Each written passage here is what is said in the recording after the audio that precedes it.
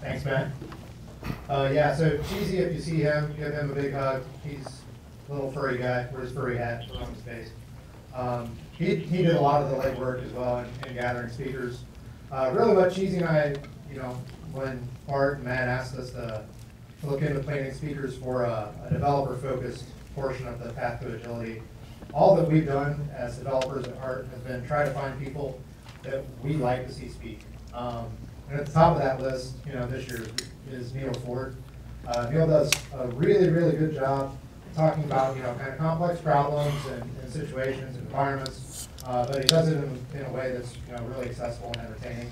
Um, I've seen Neal speak, you know, all the way back to, to No Fluff Just Stuffs, you know, not to date Neal, but probably like nine years ago or eight years ago. Uh, we're both old. Um, so Neal does a really good job. We're excited to have him here. Uh, he works for ThoughtWorks. He really travels the world uh, doing coaching and presentations and training. So with that, Neal Ford. All right. Thank you very much. Just plug this in. Welcome, everyone. Good morning. My talk this morning is entitled Abstraction Distractions.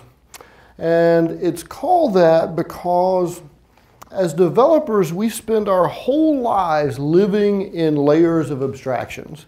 It's really the only way we get anything useful done because if you always thought about your computer as having a platter in it with rust on it that spins and a head that reads either one or zero, if you were programming at that level all the time, you'd never get anything useful done. And so what we've done over time is build up these layers of abstraction so that we don't have to think about all those low level details all the time when we're coding and when we're working with our computers.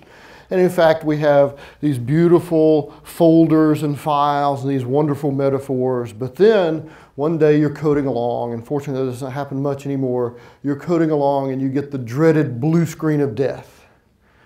What's your first thought when you get the blue screen of death?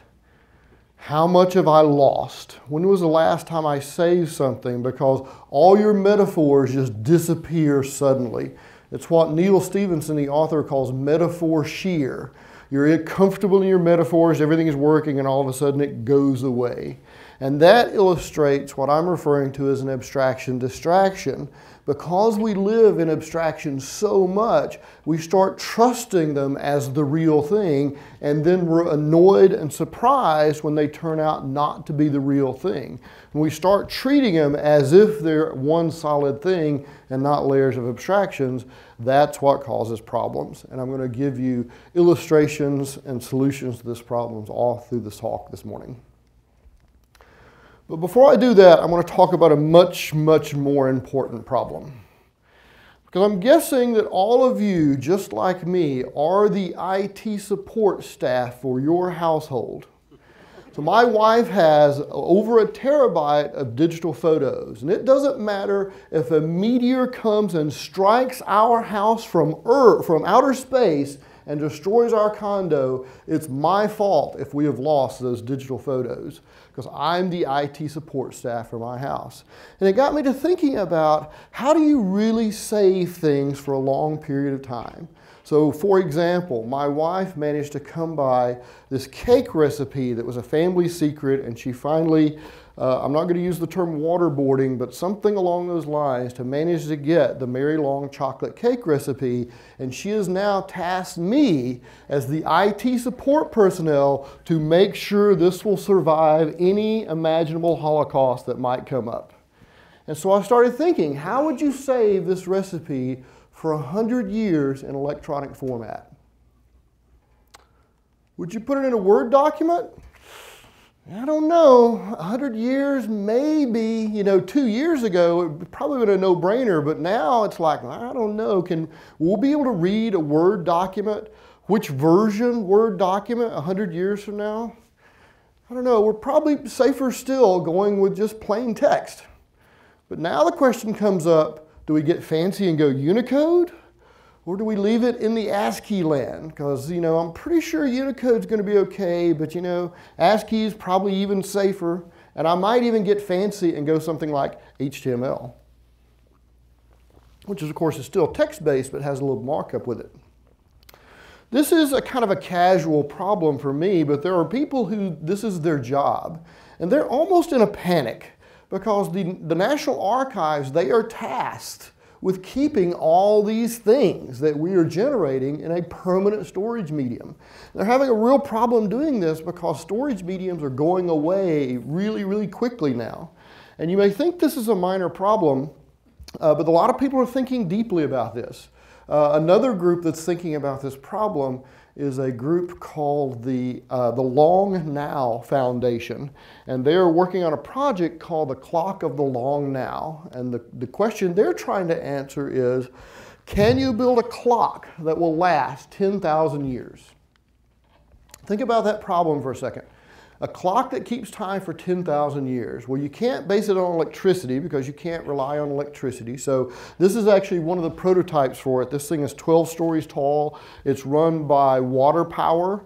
Uh, so that you can you put it near a river that you think is pretty geographically sound for the next 10,000 years and will have water flowing for 10,000 years to drive this thing.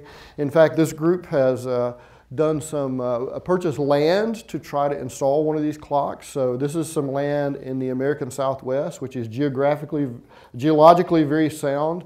So imagine a giant clock right there.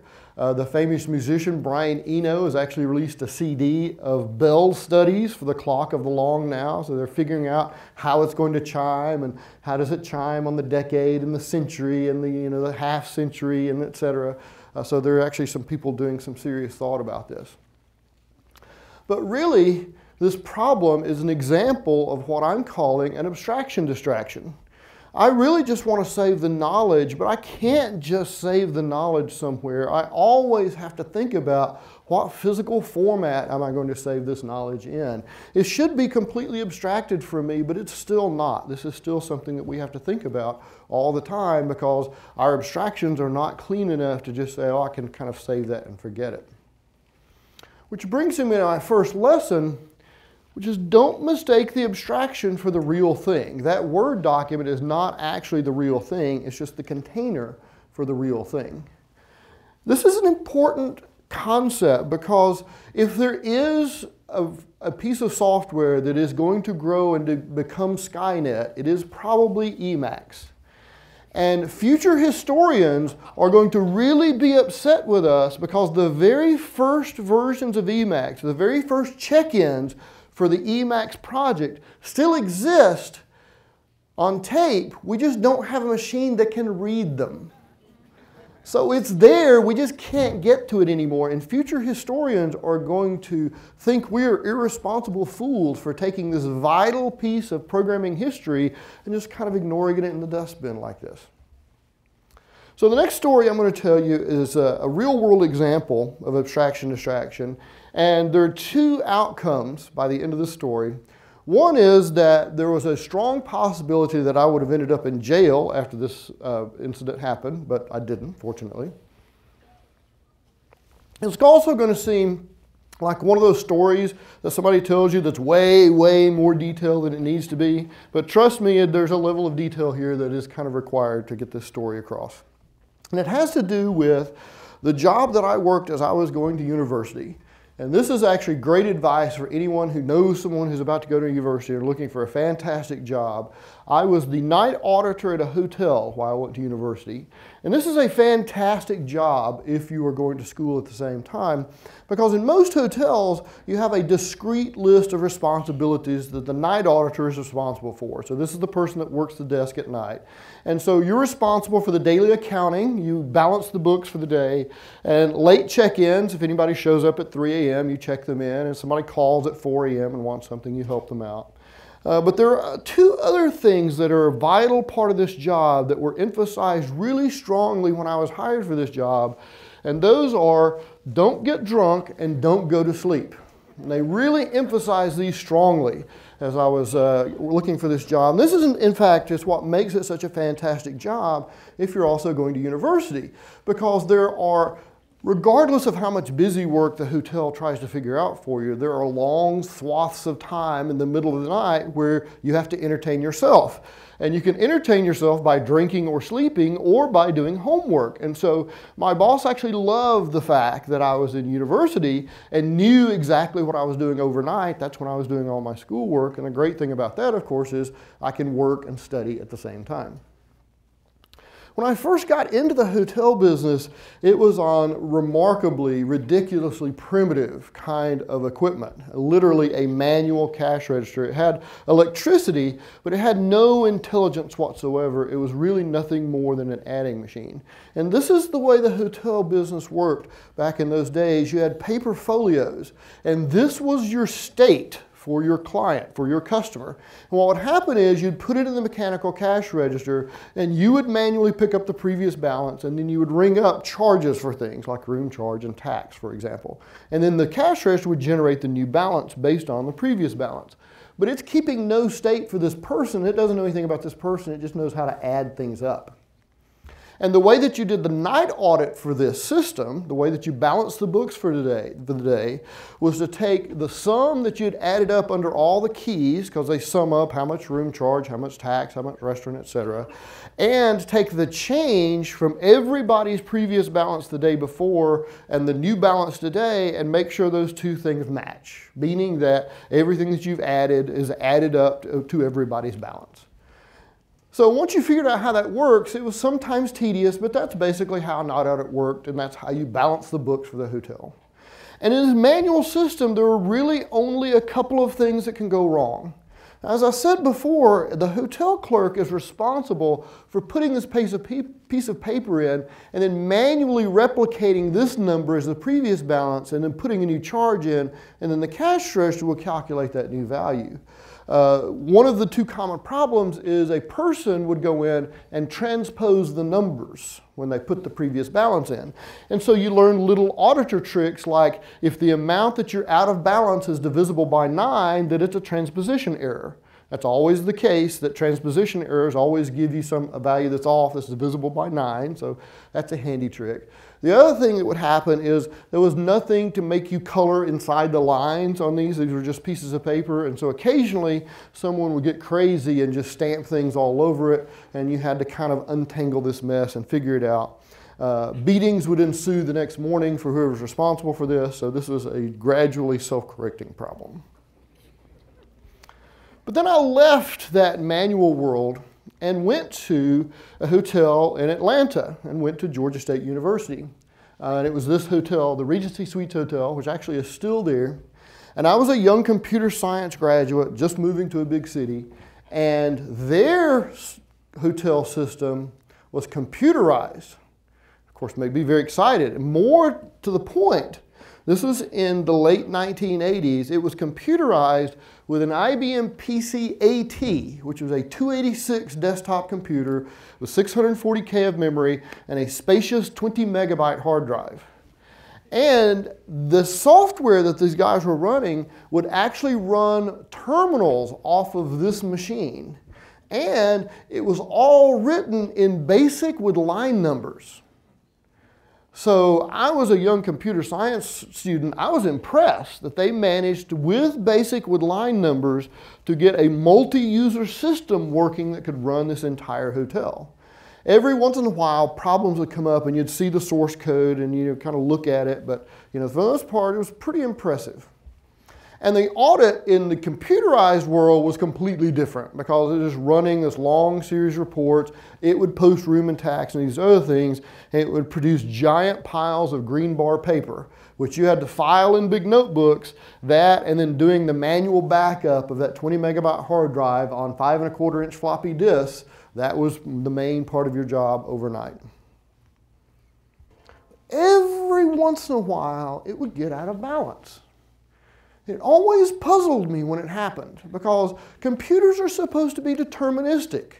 And the audit is a very deterministic kind of thing, and every once in a while, this thing would get out of balance, and it would always puzzle me, and I always wanted to do forensic engineering to figure out how in the world is this thing getting out of balance. And then one day I realized that the reason it would occasionally get out of balance is even though they had set up this multi user system with terminals on top of this computer, they had set it up with no locking, as in no locking, as in no locking whatsoever. My respect for them went from the highest mountain to the deepest valley instantly because these knuckleheads are selling software that's running a hotel with transactions that last one in wins. If two people open the same folio, then you're going to get corruption and all these other nasty things about multi user systems that they're selling it as a proper multi user system. And so I very indignantly went to the manager of the hotel and explained this horrible situation. And she was like, So? She didn't really care that it didn't do proper concurrency because she didn't really understand the implications. And so I decided to illustrate it. So one night, late at night, while I was working in the hotel, someone came in late at night to rent a room and they wanted to pay cash. So I took their money rented them a room, and sent them on their way. I then went and started a night audit on one of the terminals, and while the night audit was running, at a very particular point in time, went to another terminal, checked this person in, checked them back out, took the cash, put it in an envelope, put a date on it, put it in the safe, and then went home. The next day, the night audit was bizarrely out of balance by about one night's room and tax worth. And the accountant looked at it, and the comptroller looked at it, and they imported a guy from the Knucklehead Software Company, and he looked at it, and he looked at it, and he looked at it, and that guy went away. I don't know whatever happened to that guy, but he disappeared after a while. Meanwhile, I was just standing around, kind of blissfully ignoring this because I knew exactly what had happened. And after I let them stew for a week and try to figure this out, I said, oh, if you'll go to the safe and look in that envelope, you'll find exactly the amount of money that you're off. Let me demonstrate to you how someone who is unscrupulous could steal you blind by taking advantage of what we know in the computer science world as a race condition. That got their attention talking to them about race conditions and concurrency and other sorts of problems fell on deaf ears. But when I showed them that it was actually could potentially cost them a lot of money, that got their attention. Because, see, fundamentally, they were suffering from an abstraction distraction. Because all the people I was working for had come from the manual world just like me. And they thought that the abstraction of folio in the computer was exactly the same as the physical folio in the real world. But it's not. It is an abstraction of that folio, and it turns out underneath you can do all sorts of non folio like things to that underneath because it is only a poor representation of that abstraction after all. Which leads me right back around to my lesson number one don't mistake the abstraction for the real thing. But this now brings up level num- uh, my lesson number two, which is always understand one level below your usual abstraction level. This is how I understood why it was broken because I understood how an audit works fundamentally. I understood what we were abstracting and this is frequently the way that you solve a problem where some abstraction is broken or leaking is that you need to understand one level below what that abstraction is. It's also kind of interesting to look at these two systems from a computer science standpoint because the first system was essentially stateless. The folio carried the state, that was the session state for the person, was that, that piece of paper, but the cash register itself was completely stateless, whereas the computer-based system was stateful. The manual system was very simple, whereas the computerized system was both essentially and accidentally complicated. It was complicated in both ways that software can be complicated. The manual system is by definition single threaded, and the computerized system ended up being much more uh, problematic from a concurrency and multi user standpoint. So sometimes simple things actually do uh, better jobs than more complex things. I realized this abstraction distraction thing fits in with cameras as well. Uh, back over Christmas, my nine year old nephew picked up my mother's SLR and went and shot a whole bunch of pictures and then was puzzled why he was in trouble for using up something called film.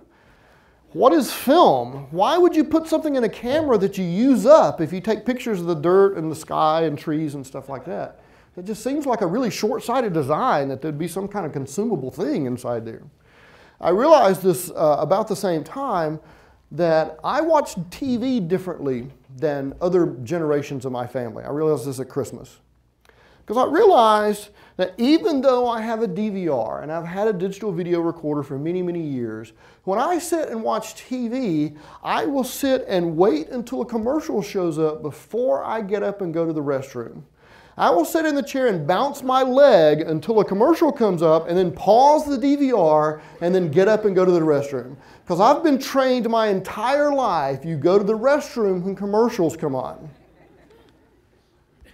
My mother, who's a generation older than me, doesn't believe that it happened unless you see it live. She has had a DVR and a VHS recorder for many, many years, and yet she will not miss TV shows when they live, air live. Even when I see her, you know, the three times a year I see her, she'll say, oh, well, you know, I've got to go upstairs because Law and Order is coming on. It's like, Law and Order? We see each other like, you know, 20 hours a year, and you've got it, well, you know, it's coming on now. It's like, well, you could record. No, no, it's not the same. My nine year old nephew never thinks about anything coming on at any particular time. It's just always there. Uh, he probably has 40 half paused movies on his iPad at any given time that he may or may not at some point get back to. My friend uh, Matthew McCullough had the same thing with his three year old daughter. They watch cartoons a lot on iPads, and he got up one morning and turned the TV on. Cartoons were on, and she came in and said, Dad, why did you start it without me? And he had to explain to her, no, I didn't start this one. Somebody else started this one far, far away, and I can't actually control that. And really, what this points out to is that once internalized, abstractions are really, really hard to shake off. And if you don't think that's true, then just look down. This is not the most efficient way to type. This is not the most efficient keyboard layout. In fact, this keyboard layout was specifically designed to be inefficient in a very particular way. It was designed to make fast typists alternate hands as much as possible. Because when typing was invented, it looked like this and you had these little arms that would fling up against a ribbon on a piece of paper to make a letter, and the two arms, if you were too fast, would jam up together, and then you'd have to use whiteout to correct the problem or an eraser. And so QWERTY was designed to make people alternate hands as much as possible. Dvorak is actually a much more efficient way to type, but if you think abstractions are easy to shake off, reteach yourself how to type. That is brutally difficult, and nobody's going to do it. And so we are still now, with computers, stuck with this purposely inefficient typing format because of mechanical arms. Which leads me to number four abstractions are both walls and prisons. Very often, abstractions look really nice because they save you from the chaotic world. An abstraction's a nice place to hang ideas and a nice organizing principle. But over time, those walls that are so comforting start closing in, and you realize at some point there's no door in that wall. I saw this as a great example of this in the UK. This is actually in a conference center in the UK. This is a sink designed by a person who's never actually washed their hands in a sink because you can get blazing hot water or you can get ice cold water and you cannot force them to mix together in the sink because there's no stopper here and so you are stuck. There are two pipes, therefore there shall be two spigots, whether it makes sense to do that or not. Once internalized, abstractions are hard to shake off.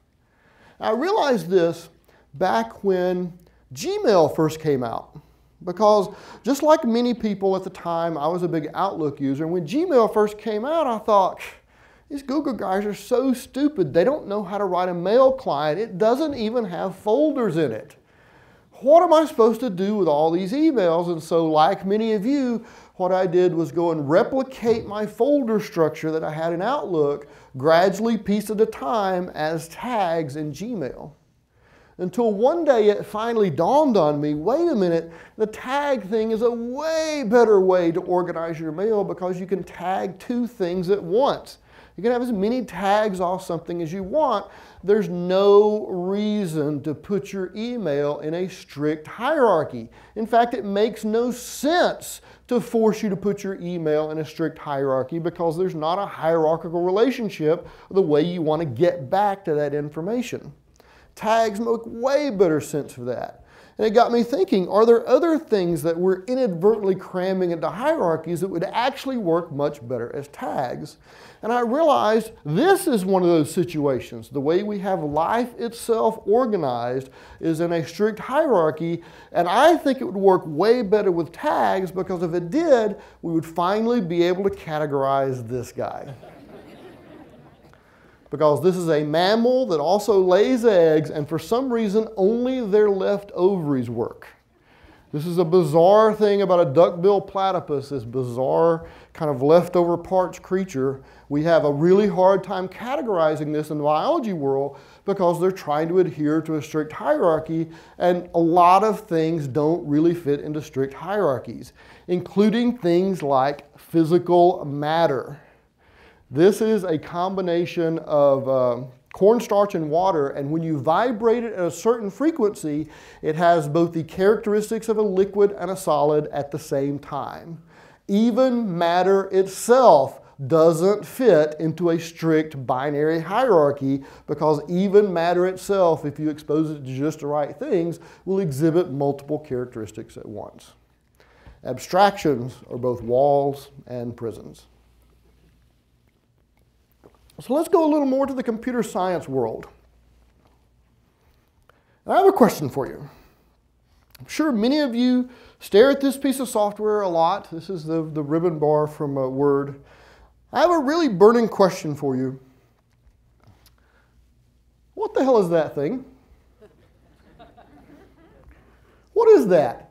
What was the last computer you had that had a floppy disk drive on it? So, okay, if that's the symbol for save, then what the hell does this mean? It's so big it needs to fit on multiple floppy disks?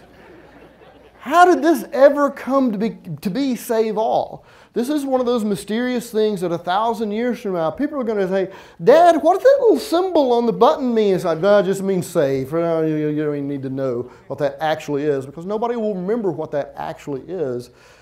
This is a classic example of an abstraction distraction because you're naming things for the underlying details. And that's actually my lesson number five. Don't name things that expose underlying details. Once upon a time, that was in fact a floppy disk that you save things, things to, but it has been a long, long time since you've done that, and yet that icon persists and I poke fun at Word, even my beloved Emacs, if you're foolish enough to turn on the little visual toolbar, has the same silly save icon in it, which is a floppy disk drive. I realized as well at some point that many of the things that we think are just a natural part of the universe are really just there as an abstraction to make you happier about things. Like, for example, the file system. Nobody actually wants a file system. How many of you have been on a phone call with one of your relatives because you sent them a zip file of pictures and they have now downloaded it somewhere on their computer and you are now on a forensic hard target search with them via phone to try to find this mysterious file somewhere? Your grandparents don't want a file system. That just confuses them. That's purely just there for you lazy developers for you to have some place to put all your junk. And I realized this by when I read this really fascinating book called The Humane Interface by Jeff Raskin. He did a lot of early human computer interaction research. And to give you a good idea of the kind of guy Jeff Raskin was, when he was born, his name was spelled the traditional J E F F. And when he became an adult, he legally changed his name to get rid of the extra inefficient F in his name. So that's the kind of guy Jeff Raskin was. And he talks a lot about the philosophical underpinnings of human computer interaction. He brings up the point that users don't actually want file systems, they just want things that work. In fact, file systems confuse them. And in fact, what users want are consistent ways to interact with things. Back before Windows and back before graphical user interfaces, there were actually a huge number of different kinds of operating paradigms for computers. And uh, this was actually a fantastic piece of software. Be cautious if any of you react to this and recognize this. This is going to date you for a while. Does anybody recognize this, this piece of software? Yeah, a few people. This is Lotus Magellan which was this really wicked cool file management utility back in the DOS days because it would actually index the contents of your documents and let you do full text searches, kind of the way that the, uh, the full operating system search things work now. This did this back in the ancient days of DOS, but very much like a lot of Lotus software at the time, it was very function key driven. It did not use the kind of Windows icon mouse pointer kind of metaphor. And when Windows came along, it ended up killing this piece of software off because there was just no way to get this metaphor mashed into that consistent metaphor that Windows imposed on everyone. And Windows and the Mac at the same time imposed this kind of sameness which is nice because then you had a consistency to applications. Every application had a file menu, they all had an edit menu, and copy and paste lived in the same place, had the same shortcut keys. But remember, abstractions are both walls and prisons. The consistency that Windows and Macintosh forced on us was a great thing because it allowed people to be more productive right out of the box. But it also stifled a particular kind of innovation, which only recently has started showing up again in the form of iPads. This is the first computer that we've had in a couple of decades that didn't follow the standard, the, the standard kind of format for doing uh, computers. This one has no keyboard, it has no mouse, it has no file system. But we know that's a lie. There's a file system in there because ultimately at its deep, deep bottom, to get to the very bottom abstraction layers, it's a Unix running. But really notably, they never expose that file system to anyone but developers because end users don't want file systems, they want things that work. And the only way an iPad ever exposes a file system to you is from cloud-based services or something like that, where you just need to facilitate sharing a document um, and each of those are doing that in a slightly different way. But this is the first real new UI metaphor that we've had in almost 30 years. And notice that this year is the year that tablet sales overtake desktop sales, and mobile sales are vastly higher than either of those now. So this metaphor is, uh, uh, this metaphor change is here to stay. And it's really hard on developers. A lot of developers don't want to see the file system go because that's a really good old friend. Uh, and once internalized, these abstractions are hard to shake off, and it's hard to give up this idea that no, you really don't have a file system, and it's okay that you're not exposing a file system. But it's really amazing how much they get ingrained in the software world. How do these abstractions get so well ingrained and so defensible in the software world? There are a couple of reasons for this, I think. One of them is something that I wrote a blog entry about, which I call the suck rock dichotomy. It seems like everything in the software world either sucks or it rocks, and there's nothing ever in between. There's a lot of passion on both sides of any argument. You can pick any kind of argument you want, IntelliJ versus Eclipse, or VIM versus Emacs, or Linux versus Windows. I mean, there are all these camps. And everybody likes to cast stones at the other camp. And I think there are a couple of reasons for this. One is kind of the inherent tribal nature of people to gather with people that have similar interests and disdain people who have different interests.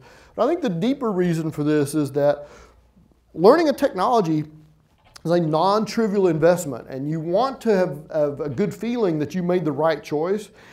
And you don't want to spend two years learning about something and then someone else come along and say, oh, you learned that, that was a big mistake, you should have learned this instead. Your first reaction is to say, oh yeah, well I rock and you suck. And I think that drives a lot of these kind of um, suck-rock dichotomy discussions. The other reason that these things get so ingrained and it's hard to shake them off has to do with something that Paul Graham talked about in his Revenge of the Nerds essay, which is what he calls the blub paradox. So he is imagining that you are working in an imaginary programming language called Blub. And the Blub paradox says that when you're a Blub developer and you look down at the less powerful languages, it's very easy for you to enumerate why they are weaker than Blub or not as good as Blub. Well, Blub has two of these, and this one only has one of those, and you have to do that crazy, elaborate thing to make that happen over there, and whereas in Blub you can do this. When you look up at more powerful languages, you don't realize that it's more power, it's just weird syntax for doing the stuff you're already doing. And it's like, ah, I don't really care about that. Uh, I'm not that interested in it. There's a great story that goes along with this uh, that illustrates the Blub paradox, which has to do with uh, the very first build your own e-commerce site, which was ViaWeb. That is actually how Paul Graham made uh, his first set of millions of dollars. Uh, and what they did with ViaWeb is a very small group of developers, they wrote the entire thing in Lisp as a series of domain-specific languages in Lisp. So they actually built their problem domain in their language. And all their competitors were writing things in languages like C and Perl. And Paul Graham said that when he was the CTO of ViaWeb, he always looked at the want ads for his competitors. As long as they were hiring C or Perl people, he didn't worry because the way the market worked at the time, because they were using such clunky languages, it would take them weeks to implement a new feature that Paul and his guys could implement in a couple of days, and any feature that they implemented that took them a week would take several months for their competitors to implement. So they had a huge technological advantage. And he said that if he ever saw somebody hiring Python, he would get a little nervous. He said, if I ever saw anybody hiring Lisp, I would have flown into a blind panic because then they would have been at the same technological level as we were, and we would have had to start competing at a business level, not from a huge technological advantage. And so Yahoo came and bought ViaWeb because it was clearly the best of all the build your own e-commerce sites. And they looked at all this weird Lisp code and didn't understand what was there, and so they tore it all down and rewrote it in C. the thing that they bought the advantage they didn't understand when they saw it. And so they immediately tore down their technical advantage and built themselves a platform actually a little below their competitors because now they're playing catch up because they're having to re-implement all this stuff in a more broken language. That is the blub paradox. But this actually falls into a lot of things in the computer science world. For example, a lot of people are big, big fans of Subversion, and they see the new kids on the block like Git and Mercurial that do distributed version control and you look at, for example, Git, and you go, well, you know, Git's really good if you need to do coding on an airplane. Well, I don't fly on that many airplanes, so I don't need that. That's just a weird syntax for the stuff I'm already doing. But it's not. That's a blub paradox. Git is a profound rethinking of the way that version control works, and seeing it as just a one step better subversion is missing the entire point. Git is a profoundly different thing that seems to act in a few cases like something you've seen before, but it is very much a different ballgame entirely. So let's go even deeper and talk about some language abstractions. And talk about one of our most beloved language abstractions, and it's this idea of inheritance and polymorphism. So let's say we have a point 0.2D and a point 0.3D. We know how this works underneath the way the polymorphic uh, draw method will work here, or rather get Z, or rather draw. Uh, so my draw method here, if I don't implement one in point 3D, then there's a pointer that points back to the virtual method table in my parent class and says, well, anytime you call this, then call that one instead. We're very used to this idea of, well, this is how polymorphism inheritance work in Java. But from a technical standpoint, this is really just a coupling technique because it couples these two classes together. So from a pure computer science standpoint, these two things are coupled together in a very well-defined relationship, which is this inheritance polymorphism relationship.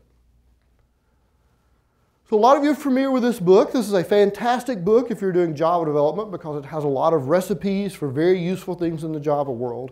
And in fact, one of the very useful recipes it has is the recipe for the perfect equals and hash code. So given the little scenario I gave you before, let's do that. So here is an equals for my point 2D, and the rule from Josh Bloch says you do an instance check, then you do a typecast, then you do an equality check, and everything's fantastic. I now understand equality for my 2D points.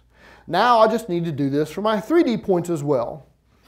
But this is where we run into problems because doing a naive implementation of an equals in point 3D doesn't work. This actually violates the symmetry rule in Java that says x equals y must return true if and only if y equals x also returns true, and point 2Ds don't know anything about point 3Ds, and so they're not symmetrical. Okay, well we can fix that but when we come in and fix that, we end up violating transitivity, which is the other requirement for equality that says if x equals y returns true and y equals uh, z returns true, then x equals z must also return true. It turns out that in effective Java, Josh Bloch says there is no way to extend an instantiable class and add a value component while preserving the equals contract unless you're willing to forego the benefits of the object-oriented abstraction. Well, listening to that from Josh Bloch makes you kind of think, well, it sounds like object-oriented programming is kind of broken because it doesn't work for simple things like equality. We know that's not true. This is a very, very useful abstraction that we use for all sorts of things all the time. It's not broken at all. In fact, the Scala guys have figured out a way to solve even this little nasty problem, which is by adding a third method, a can equal method, that basically allows things in the hierarchy to comment on whether I should be able to interact with this thing from an equality standpoint or not, or whether you should just ignore the relationship between these guys. The point of this is that a lot of your abstractions get really, really deeply ingrained, and you start to think that that's the way the world works. But that is, in fact, my lesson number six. Your abstraction isn't perfect, it's just the one that you are accustomed to. And in fact, if you look back at this in the Java world and look at the way polymorphic dispatch works, then you look at a language like Clojure, which is this functional Lisp that runs on the JVM now. And you get Clojure, and Clojure is not a particularly object-oriented language. In fact, it's all function-based. And a lot of developers look at that and suffer from the blub paradox because they look at that and go, oh, it only has functions. Well, you know, I have classes and objects and a bunch of other stuff, so clearly my thing must be better. But the reason that you think that is because you're used to this arrangement. It turns out that Clojure actually has polymorphism as well. It's just not coupled to inheritance you actually get the benefits of inheritance and polymorphism, but you can mix and match them in any way that you want in Clojure. So it gives you all the building blocks that are already pre-wired together in a language like Java. In fact, there's this mechanism in Clojure called a multi-method, where you can say this will actually take in multiple kinds of, of uh, possible method signatures, and those are keyed on the first parameter in each of these cases.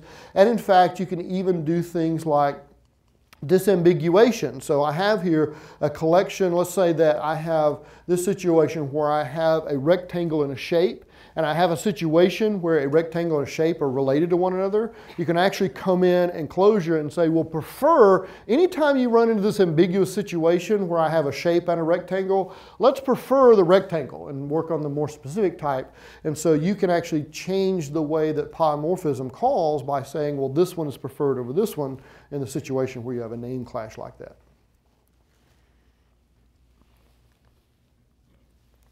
I want to talk for a second about some general characteristics of things that you see out in the world, of things that are rigid versus fluid. And there are lots of examples of these things that are in contrast with one another right now. For example, SQL versus NoSQL. For many, many years, we treated the relational database as the golden hammer. Every problem that's data related must be solved by the golden hammer. But now you're seeing a lot of places use NoSQL to much better effect in some situations. For example, one of our clients is a big giant Oracle shop and they were trying to do this network graph analysis on top of Oracle and they managed to get the query down to about six and a half hours, I think, to do this. And they installed Neo4j, which is a graph database. And the same query comes back in less than a second on Neo4j because it's a much more suitable kind of format for that job. You see a lot of discussion still around things like static versus dynamic typing. It turns out that some of those are beneficial in some cases and some in others. I'm very much in the kind of dynamic, dynamic typing world, but we're seeing actually smarter type inferencing coming to languages like Scala and Java and taking a lot of the kind of uh, housekeeping burden away from having a good, uh, strong static type system. And you see conversations like SOAP versus REST. Both of these have advantages and disadvantages, but REST, in a lot of cases, is a lot more fluid because you're not determining types at your endpoint. You're determining documents. You can have different versions of documents that are delivered by the same kind of endpoint. And so all of these things have implications in the way that you end up designing things. And a lot of times this becomes an abstraction distraction. You end up optimizing toward one tool or paradigm at the expense of others.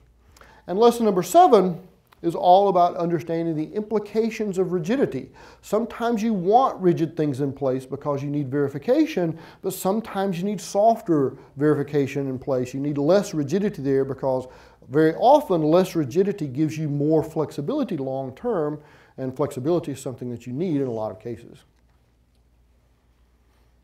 Here's a great example of that. This is a classic book of Windows programming by Charles Petzold. This is the very first book that showed many, many people how to program Windows. And a lot of you are probably going to react to this pretty innocuous five character string. What is that? An LPSTR? Any old school Windows programmers here? So the Windows API, littered throughout the Windows API is Hungarian notation with LPSTR in front of all these variable names, which stands for long pointer to null terminated string, a long pointer to a string. And if you look at this documentation on the Win32 API programming guide, when they talk about Win32 data types, one of the things he says is an LP prefix stands for long pointer. In Win32, the long point is obsolete, so don't worry about it. So this was something that existed in Windows 3.1 that made it into Windows 32. And in 10,000 years, when they're running Windows Vista 100 Bonus Edition, and they're looking at that API, somebody's going to say, what's an LPSTR? And they're going to say, no, never mind. That comes from the same place where that save icon comes from. Just don't worry about that. Which brings me right back to lesson number five, don't name things that expose underlying details. This was the poison of Hungarian notation because you're tying the, the representation to the thing it is, and sometimes those things diverge and you're stuck with a name that always has that detail attached to it. Which gets me right back to lesson number seven, understanding the implications of rigidity. I want to talk for a second about leakiness and leaky abstractions. Joel Spolsky, very well-known blogger and writer, has a terrific blog entry back a long time ago. I want to say this is the early 2000s called um, The Law of Leaky Abstractions. And in it he says, all non-trivial abstractions to some degree are leaky. And this is true. That it's never a perfect abstraction. If it was a perfect abstraction, it would just be the thing. It wouldn't be an abstraction at all. An abstraction is always a generalization. and they always leak. But Joel Spolsky was saying this is, this is always a bad thing. This is always a flaw in an abstraction, that it's leaky. But that's not necessarily the case. My good friend Glenn Vanderburg has a very interesting observation around this that says that when you're talking about leaky abstractions, some leak in better ways than others, and the best abstractions leak intentionally in carefully chosen ways. And in fact, Glenn has coined this term that I love, so I'm going to promulgate it here this idea of an onion skin API, which is a high level abstraction built on top of an equally well documented lower level abstraction allowing you to work at either level of abstraction that you need to for a particular problem. And a terrific example of this is Active Record in Ruby on Rails which exists in five distinct layers of abstraction. At the bottom layer is vendor agnostic database connections and low level facilities for data management. Then you have a query to object instances mapping layer. Then you have a layer that lets you compose SQL fragments into select statements. Then you have high level relational algebra methods that work on uh, result sets. And then you have query instances of particular classes with their associations. This is the stuff that you normally see in tutorials. And in fact, most of the tutorials really just touch on the first level of abstraction here, But in most non trivial Rails applications, you'll use all three, at least the top three, at different times for different purposes. Because the guys who wrote Rails said, you know what, solving this ORM problem to the hundredth percent is really, really hard. And we're not even going to bother trying to do that because so much effort is required in the last little bit that it's probably not justified. Instead, we'll just allow our abstraction to leak in very well, well-known places so that you can just take over from the framework if you want. Which brings me to lesson number eight, which is a good thing. Good APIs are not merely high level or low level, they're both at the same time. This is one of the reasons that I dearly love Git so much. Because when you interact with Git, you're really interacting with a bunch of shell scripts that compose the little tiny atomic building blocks for Git underneath.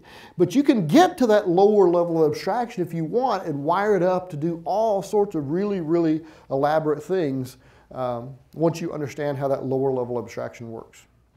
And it turns out that there are lots and lots of things in the computer science world that follow this Pareto distribution, this 80-20 rule. Hibernate's a great example of that. ORM in general is a great example of that, that 80% of that problem is pretty easy to abstract away, but the last 20% is murderously difficult, and that last 1% will probably take more effort than the preceding 99% to get that final bit done. And so what the Rails guys have said, we're not even going to try to get 100%. We're going to get close and allow you ways to get to that last bit that you want. Which is lesson number nine, generalize the 80% cases and get out of the way for the rest of them. It turns out that believing in the wrong abstraction can sometimes be a dangerous thing and it can lead you to really, really dangerous places. And nobody exemplifies that more than Galileo who definitely believed in the wrong abstraction for his time because at, when he was alive, the predominant abstraction about the way the universe looked looked a lot like this.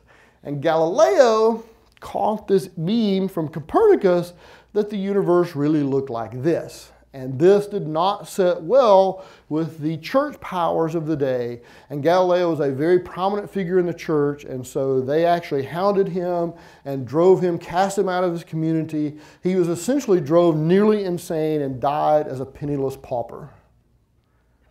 Which brings me to Maven. This is one of my colleagues, Kent Spillner, one of the most easygoing guys you will ever meet. And he wrote a blog back in 2009 that said Maven builds are an infinite cycle of despair that will slowly drag you into the deepest, darkest pits of hell where Maven itself was forged. Now, what would make a normally mild mannered developer feel so passionately against something as innocuous as a technology? It turns out that Maven is one of those things that people either love or hate. It turns out that you uh, either hate Maven or you will eventually hate Maven. And I was wondering why that was. And I did a little bit of analysis on this, and this broadly goes into two categories of things composable and contextual things. Composable things are things built out of small parts, whereas contextual things are things built out of frameworks and scaffolding. So for example, bash is a good example of a very composable thing versus PowerShell where you still pipe things through pipes, but they come through with properties defined, and you can take advantage of those properties. Things like Rake or Gant are both language-based versus Ant or Maven, which are both plugin-based. And I've come to believe that builds are uh, particular enough that you can't get enough flexibility with plugins. You need to go all the way to language to do that. Even low-level tools like editors like Emacs or VI versus Eclipse or Visual Studio. If you talk to anyone who uses Emacs or VI and ask them, have you made some little programmatic change to your environment in the last week, chances are pretty good that that's true. I use Emacs all the time and I made a little tweak to my .emacs file over this last week. But how many people who use Eclipse or Visual Studio have made any changes to that environment outside the preferences dialog? The problem is you have to understand a week's worth of context at least to even create a hello world window in something like Eclipse. There's an enormous amount of power there, but it's all in this giant hierarchy of interrelated things, and you have to understand all that context before you can get anything done in that environment. And it's so daunting, you just never bother. And ultimately, languages are composable and frameworks are not. And these both have different characteristics because things that have, provide a lot of context give you more capabilities out of the box. They're, they're much easier to use and they give you more contextual intelligence, but they tend to be less flexible over time versus things that are composable tend to give you less implicit behavior, but better building blocks for sophisticated behavior, and thus more eventual power, less eventual, uh, less initial power, but greater flexibility down the road. And this all kind of rubber meets the road. It's something, a, a phrase that I coined called Dietzler's Law. This was something that I coined in my book, The Productive Programmer, and it's based on some observations. The company that I worked for before ThoughtWorks was a company that did training consulting in a variety of technologies, and one of the things that we did the consulting projects on was Microsoft Access. And we eventually shut down that part of the business because it turned out that every Access project started out as a booming success and always ended in failure. And we wondered why that was, and Terry Dietzler was the guy who ran the Access part of the business, and we codified this as Dietzler's Law, and here it is. Using some tool or framework like Access, and you look at what the user wants, using some framework like that, getting 80% of what the user wants is blazingly fast and super easy. It's a stunning how fast you can get to the 80% point, and your clients love you. You're a miracle worker. Then the next 10% they want is possible but difficult because now you're having to work around the abstraction and you're kind of having to hack it and you know do something it wasn't meant to do, but you have to get it to do that. But then the last 10% is flat out impossible because you can't get far enough under the framework or the abstraction. And it turns out that users always want 100% of what they want. They're never satisfied with 90% of what they want. And so tools like Access always fail at the very last because you cannot bend them enough to make them work. Remember back in the late 1990s, we had all these fourth generation languages, these 4GLs, FoxPro and Clipper and DBase and uh, Paradox and PowerBuilder. All those tools eventually died and we went back to general purpose programming languages because they all suffered from Dietzler's law. At some point, you could never get far enough underneath them to build really general purpose stuff, and so we ended up back at general purpose languages. But see, this is a really tricky thing because how do you choose something? Well, you want to start with the easiest, no-brainerest decision, and Maven is a classic example of this because when you start a brand new project, you want something that's opinionated because you don't have a lot of opinions. This is a brand new thing. And so somebody coming in and saying, your directory structure shall look like this, it's like, okay, sure. You've got an opinion about this and I don't, so I'll take your opinion. That it is dogmatic and rigid are good things because that along with that rigidity comes the ability to say, hey, I want to take the Sonar plugin and the FindBugs plugin and those things all work really great right out of the box. Like, man, this is fantastic.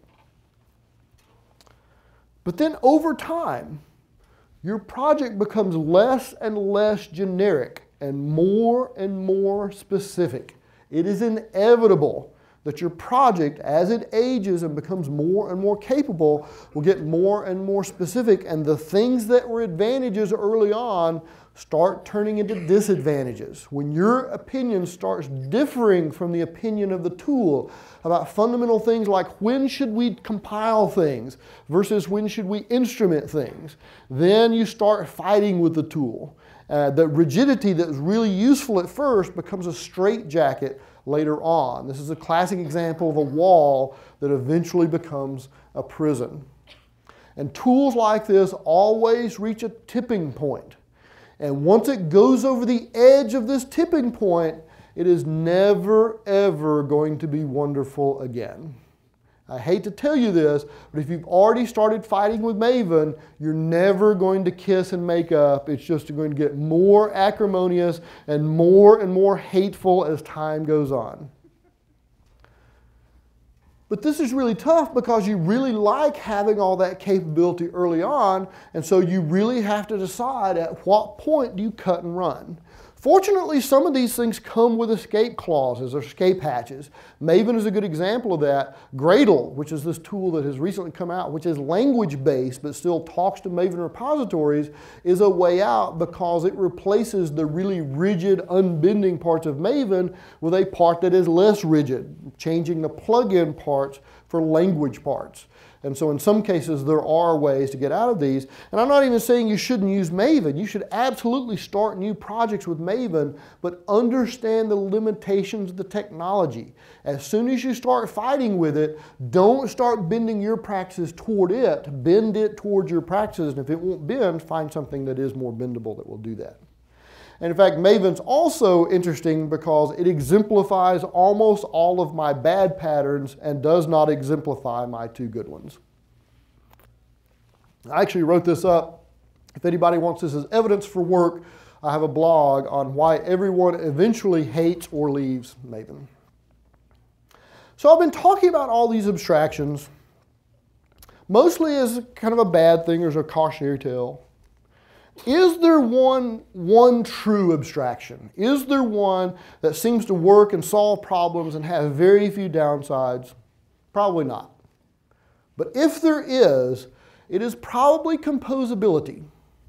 Because if you look at some of the problems I posed earlier, this is exactly the solution of the problem that Josh Bloch posed in his book. He didn't just leave it with, oh yeah, and Java's broken, sorry. Next chapter is about he said, no, you solve this problem by not using inheritance, use composition instead. This is a really common refrain in object-oriented languages is prefer composition to inheritance. As I mentioned before, this is one of the reasons I love Git so much because Git is an onion skin API. And notice that this idea of onion skin API is really this idea of composition as uh, kind of written as an API. This also explains why we see such interest right now in domain-specific languages. Because domain-specific languages now are fitting in the exact same category that 4GLs fit in back in the late 90s, with one key difference. The 4GLs in the late 90s were built as unique languages, whereas these internal DSLs like Ruby on Rails or EasyB or Grails are all built on top of general purpose languages, creating onion skin APIs so that if you're in Ruby on Rails and you need to dip down below the abstraction, you can because it's just written on top of the low level general purpose language. So that's where things like 4GLs have gone. They have become internal DSLs, and we're getting the same benefits that we had with 4GLs in terms of greater context without paying such a steep price. Because it's an onion skin API, we can drop down and get to those lower level pieces as we need to. So I'm sure some of you are dying to know how I eventually solved the Mary Long chocolate cake problem I ended up solving it by storing it in Unicode. I feel pretty confident there. And Markdown, which is easy to create into HTML if you want to. Um, but you don't have to. It's still very readable. And in terms of backups, I have a RAID drive at home, and I do an external snapshot of that offsite, and I use CrashPlan out in California uh, because I've used computers for a long time and the only reasonable backup strategy is one that I refer to as belt, suspenders, and duct tape. Because it's not a question of if your computer is going to lose that data, it's a question of when, and I'm worried about that abstraction. I've always made sure that it is backed up very, very well. And I'll leave you with my last lesson, which is number 10, don't be distracted by your abstractions now, I have just one last piece of advice for you. Please enjoy the rest of the conference. Thanks very much for coming. Hope you enjoyed it. Okay. Thanks very much.